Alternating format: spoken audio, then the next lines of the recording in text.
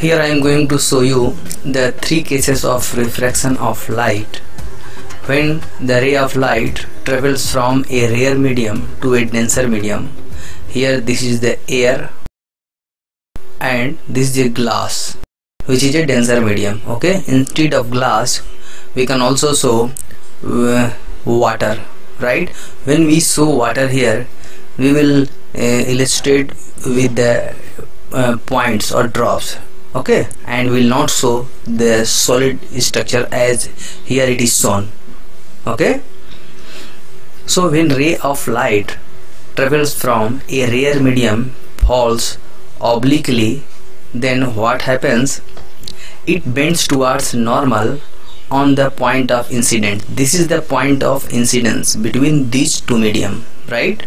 So it uh, travels and bends towards the normal right? Here this one is normal. I am showing here. Right? In this case AO is the incident ray.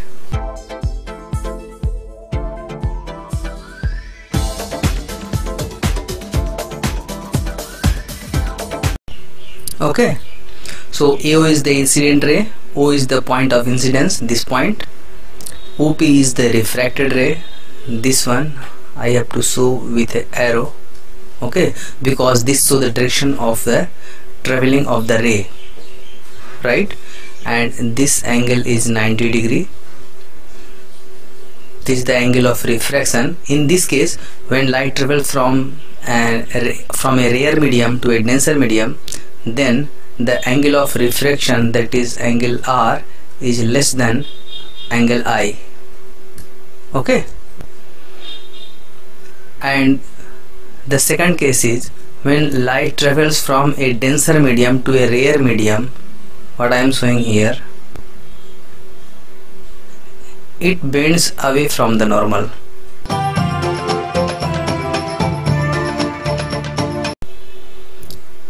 right. So light travels from a denser medium this is glass this is the second case and at the point of incidence we see that it bends away from the normal. This is the normal and this travels away from the normal. Right. In this case angle R will be greater than angle I. Okay. I'm not showing the angle because it is not looking better. Here I am showing angle R is less than angle I but here angle R is greater than angle I okay if uh, it is uh, given in the problem that the angle of refraction is greater than angle of incidence then what is the case? The light it may it may be illustrated that light is traveling from a rare medium to denser medium. Option b the light is traveling from a denser medium to rare medium. Okay so you have to select the right one. If you know the cases then you can easily uh, answer the question okay then the third case is when light travels from a rare medium to a denser medium it undergo refraction okay and again emerges.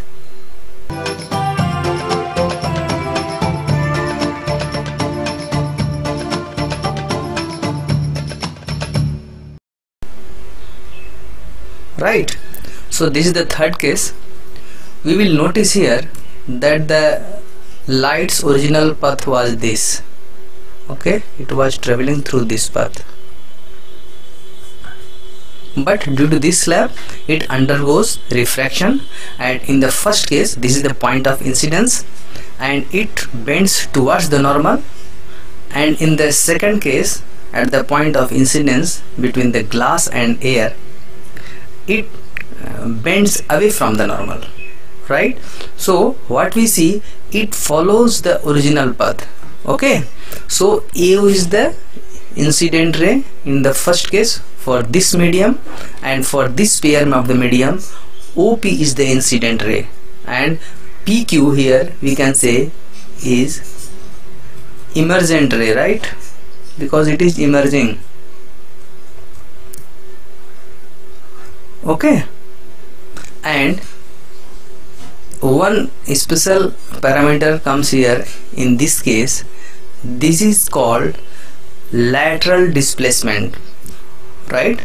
Displaces that the lights didn't follow the original path. It laterally displaces with a distance d. This is this d is called lateral displacement okay? It must be written. When this case